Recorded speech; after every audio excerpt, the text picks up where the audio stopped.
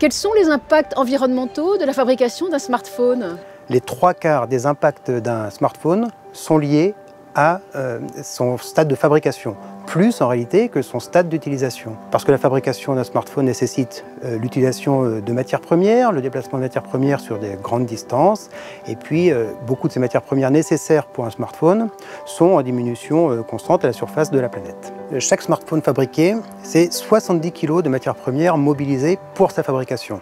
Quand vous aurez changé votre smartphone trois fois, vous aurez donc plus de 200 kg de matières premières utilisées pour la fabrication de vos équipements. Un smartphone, ça a des impacts environnementaux importants sur euh, l'épuisement des ressources, sur euh, la qualité de l'eau, mais aussi en termes d'émissions de, de gaz à effet de serre.